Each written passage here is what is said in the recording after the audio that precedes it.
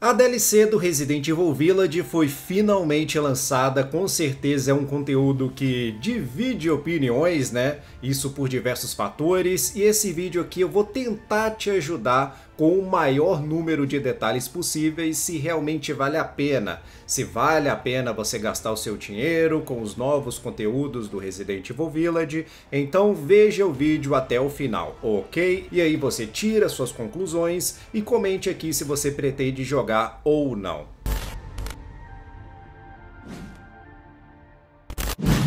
Fala galera, beleza? Emineste aqui, sejam bem-vindos a mais um vídeo. E galera, é o seguinte, primeiramente eu queria agradecer a Capcom mais uma vez pela confiança, eu recebi sim antecipadamente a DLC para trazer conteúdo para vocês, só que tem um porém, como eu sei que essa DLC divide opiniões, como eu disse lá na intro, eu preciso deixar uma coisa bem clara aqui, imagina eu que cresci jogando Resident Evil, comecei lá no início dos anos 2000, tinha 10 anos de idade e cresci jogando os jogos da saga. Ficava ansioso pelos lançamentos e tudo mais. Imagina eu hoje em dia receber antecipadamente um jogo de uma franquia que eu sou fã, a que eu mais gosto. Imagina esse sentimento, cara. Sentimento de reconhecimento, não só pela própria empresa, mas de vocês também que fizeram isso ser possível, fazendo uma comparação aqui,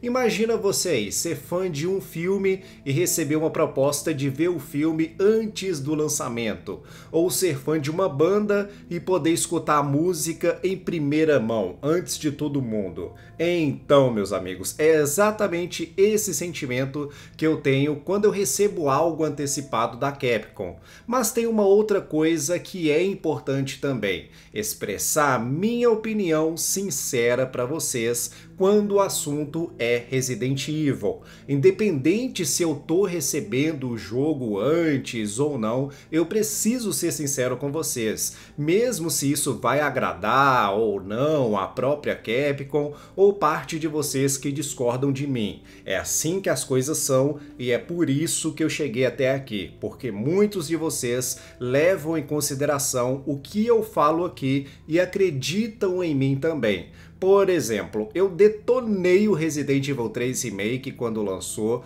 e já falei muito mal do Village aqui no canal também. Todo mundo sabe das minhas críticas. Já falei diversas vezes que ele é sim um bom jogo, mas não é um bom Resident Evil, sabe? E esse lance de ser ou não um bom Resident Evil é muito particular de cada um também. Às vezes o que eu acho que é um bom Resident Evil não é para você e tá tudo bem, opiniões diferentes. Inclusive, comenta aí que eu fiquei curioso agora. O que é um bom Resident Evil para você? O que um bom Resident Evil tem que ter para ser um bom Resident Evil? Eu até achei na época, depois de ter recebido o 3 Remake e ter feito os vídeos esculachando o jogo e tudo mais, que a Capcom não iria me mandar mais nada, mano. Só que não. Eles confiam em mim, sabem que eu faço a minha crítica sincera, sendo ela positiva ou não, mas os caras confiam no meu trabalho e continuam me mandando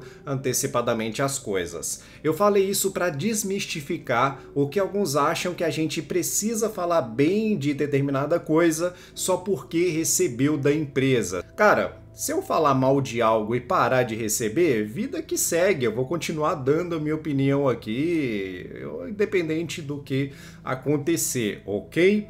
Por isso, de cara, eu digo uma coisa. Eu gostei da DLC Shadows of Rose, sei que muitos não gostaram ou que estão com o pé atrás, mas eu gostei da DLC, o que não quer dizer que eu recomendo vocês comprarem.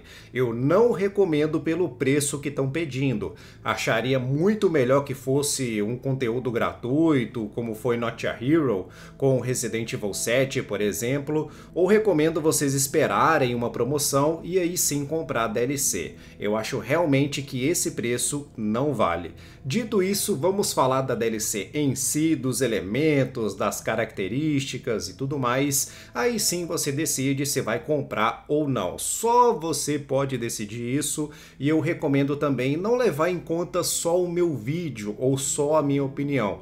Dá uma olhada em outros canais também, ok? Bom, vamos falar da história. Aberração. Bizarro. Tem um treco dela. Com certeza. Aberração. Aberração. Nojento demais. Ai, com isso! A história, galera, não avança. Não avança no sentido de que vamos saber mais da história de outros personagens principais, como o Cruz, por exemplo. Mas isso já era meio que previsível, já que a própria Capcom já tinha falado que essa DLC iria encerrar a história da família Winters. E de fato foi encerrado aqui. Lembrando, tá, que terá alguns spoilers, eu deixei isso no título também, então fica por sua conta em risco. A história começa com um cara chamado K dizendo para Rose que tem uma solução para ela remover os seus poderes, já que a Rose não aguentava mais ser excluída da sociedade por causa disso. Aqui já entra um plot twist, só que ao mesmo tempo um plot que eu digamos preguiçoso, sabe? Porque esse personagem K foi alguém criado pela Miranda, que está viva dentro da consciência do Mega Miseto. Ela induziu a Rose para lá para tentar cumprir o mesmo plano que ela já tinha tentado na campanha principal. Então isso meio que se repetiu, sabe? Eles poderiam muito bem ter criado um novo vilão, um novo chefe, mas a Miranda de novo, cara. Isso eu não curti muito porque no set nós já sabíamos que o Lucas poderia ser um dos vilões das DLCs, como Not a Hero, por exemplo, já que ele fugiu lá da campanha principal. O que eu gostei na história foi a interação da Rose com seu pai Ethan. Isso eu achei da hora pra caramba, mano. Você cresceu tanto. E mesmo não estando ao seu lado, eu sempre te acompanhei. Me desculpa por não te proteger. Essas cenas, essas conversas entre os dois, o desfecho também encerra muito bem a história da família, com a Rose finalmente conhecendo seu pai, vendo que ele é uma boa pessoa, que ama sua família, além de ter conhecido também o cara que se sacrificou para salvá-la. E o Ethan vê também como é que sua filha cresceu, como ela tá forte, o sentimento de dever cumprido, dele não ter se sacrificado à toa. Isso reflete no gameplay também, já que tem uma parte que os dois estão ali se ajudando, e na hora que a Rose decide recuperar seus poderes para ajudar o pai, mano, pô, ela passou por tudo aquilo conseguiu se livrar dos seus poderes com muito custo, mas quando ela viu que o seu pai, que se sacrificou em vida para salvá-la, dessa vez precisava de ajuda, mano, ela não pensou duas vezes em recuperar seus poderes. Muito da hora essa atitude dela. E no fim mostra que o final do Resident Evil Village, da campanha principal, se passa após a DLC. Isso eu gostei também. Mas agora vamos falar do gameplay.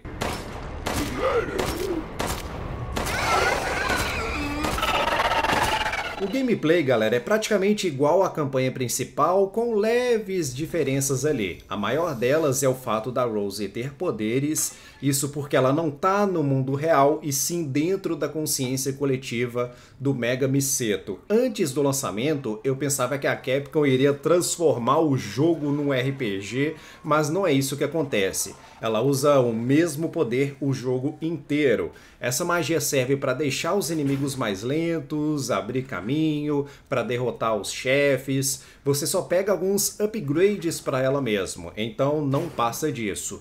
Você tem acesso a duas armas, a handgun e a espingarda, você coleta itens no cenário, fabrica balas, kits médicos. A campanha tem alguns puzzles também, alguns mais fáceis e outros mais ou menos. Não tem nenhum puzzle que você vai ficar perdido. Tem uma parte bem interessante que o Duque do mundo do Mega Miseto captura a Rose e você tem um certo tempo para escapar. Me lembrou um pouco os joguinhos do Lucas no set. Essa parte eu gostei também. Os cenários são um castelo e também a casa da Dona Benevento. Antes do lançamento eu achava que seria só no castelo, mas não. Se passa na casa da Benevento também. E essa parte é cabulosa, mano, porque tem um puzzle parecido com o da campanha principal, com a Rose perdendo seus itens e ela precisa resolver o puzzle da mesa. E enquanto isso, diversas coisas cabulosas começam a acontecer, Já na parte das bonecas, essa parte eu não gostei muito não, achei meio mais ou menos, meio descartável, digamos assim. Não me deu uma sensação de medo, igual foi na parte anterior do puzzle. Depois disso, a Rose volta para a vila para iniciar a parte final com Ita, tendo a Miranda mais uma vez como chefe final. Os inimigos se resumem somente à mistura do mofado com pálidos, tem um subchefe até da horinha, que é um perseguidor em alguns momentos, jogar em terceira pessoa eu curti bastante, todo mundo sabe que eu gosto mais assim do que em primeira pessoa. Eu daria uma nota 6 mais ou menos. Eu gostei da DLC, como eu disse anteriormente, mas como eu disse anteriormente também, eu não recomendo comprar agora é uma boa DLC como jogo, mas não é um bom Resident Evil para mim, ok? Agora, mediante a tudo isso, tudo que eu falei, eu recomendo vocês esperarem uma promoção ou talvez futuramente a Capcom resolver dar de graça, o que eu acho que não vai acontecer. Somente vão ter algumas promoções mesmo. Além disso, tem o modo em terceira pessoa na campanha principal e novos personagens no modo mercenários, como a Capcom já anunciou anteriormente. Mas e agora? Vocês vão comprar? Vão jogar? O que vocês acharam do vídeo? Comenta aí que eu quero saber. E se chegou até aqui, não se esqueça de se inscrever no canal, tá? Deixa o like e me sigam nas redes sociais. Todos os links estão na descrição. Então é isso, grande abraço, fique com Deus e até mais. Fui, tchau.